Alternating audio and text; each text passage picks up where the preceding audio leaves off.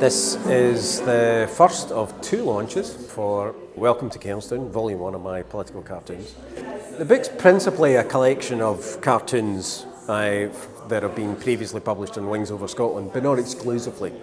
And it's not, it's not every cartoon that was ever in Wings, and it's not meant to be a history of the independence referendum in particular, given that we're now a year on from that. It ended up being the mapping really of a journey that Scotland has taken over the last two to three years. We've now got roughly 50% of the people in this country are at least open to the idea of independence, open to the idea of us being a normal country. And the fact that we've done that in just a couple of short years is just amazing. And I've been lucky enough to draw the cartoons and the book happily enough, just happens to chart that. I know by looking at you that you've been listening to your Auntie Griselda.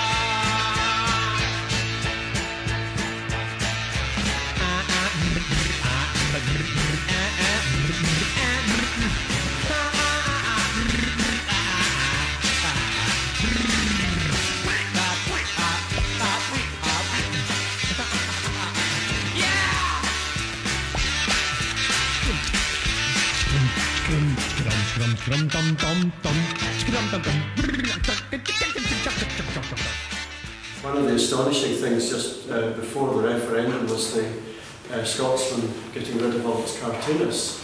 And I'm the uh, owner of the uh, Leiper Gallery. It was actually home to the legendary Alexander Reid, whose claim, one of his claims to fame was sharing digs with the Van Gogh brothers in Paris in the 1880s.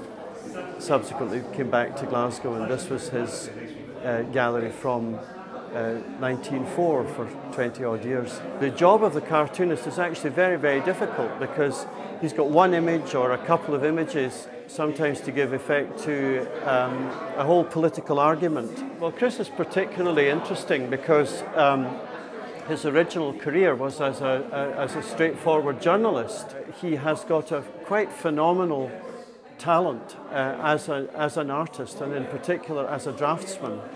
If you look at Punch or Private Eye or any of the satirical magazines, it's the cartoons that always carry the biggest punch because they can portray situations and you know modes of thought that are difficult to convey in words. I mean, just look at an image of Hamish, and such a simple image can capture so much. The appeal of the cartoons, I'm pleased to say, seems to transcend what you might call the normal Wings audience, but the Wings audience itself is huge.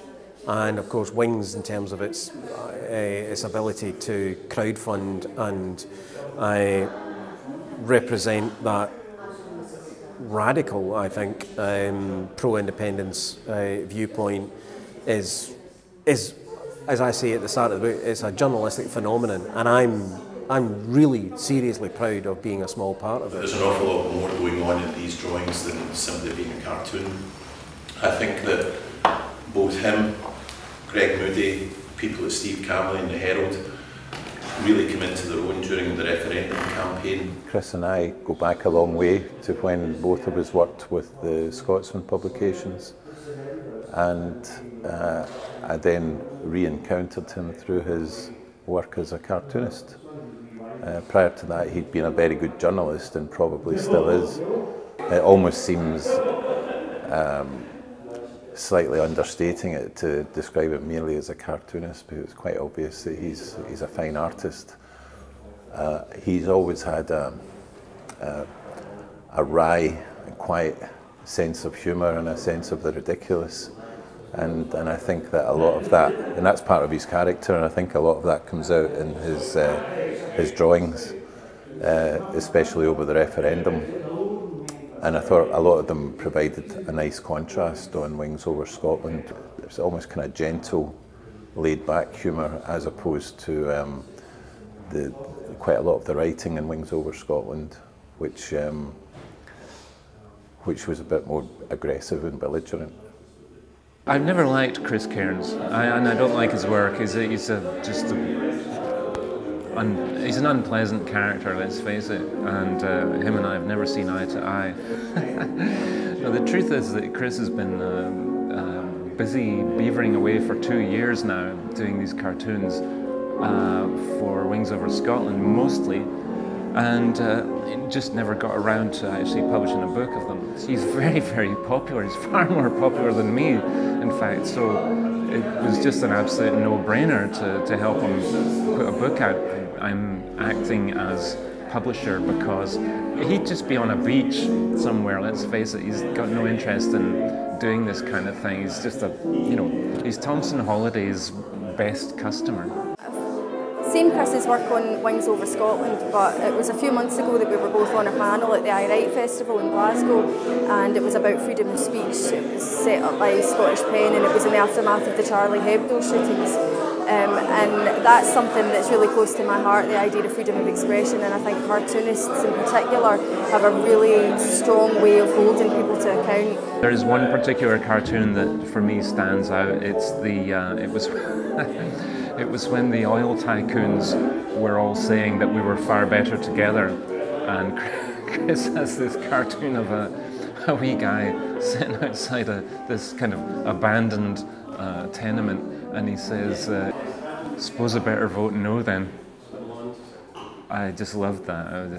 That was just genius. The mainstream media has really failed us. I think everybody's um, kind of agreed on this one. We're, ha we're having to rebuild the media, and the, the only way we can do this is, you know, through a majorly concerted effort. Uh, and all of these people are, have been working very, very hard.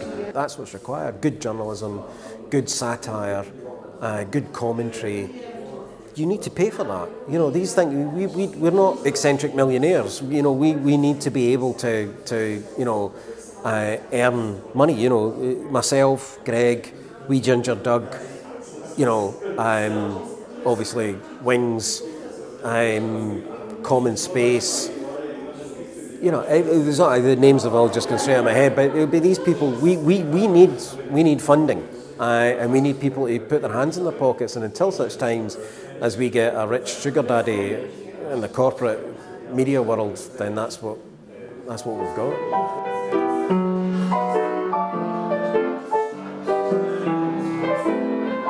IndyRef certainly gave cartoonists in Scotland a boost, and you can contrast that with the decline of cartoonists in the mainstream media.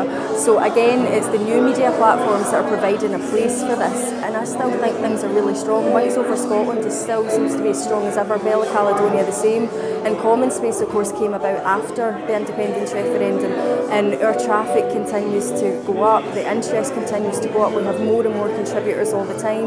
You now see that there is a, a firm place for new media in Scotland, that it has established itself and it is even recognised now by the mainstream media as a valuable contribution to journalism in Scotland. The independence referendum was probably the single uh, biggest political and cultural happening in Scotland um, since the dawn of what we might call democratic politics. And it engaged, as such, it engaged many, many more people than would otherwise be engaged in just simple party politics. I think that will, um, will lead to a, a flowering of confidence in the creative arts going forward.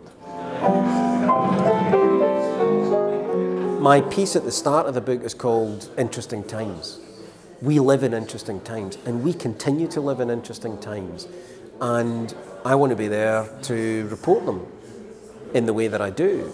And I know Greg and, and, others want to do that as well. Um, we're not done yet. This story is not over. We're just, we're really at the start of this.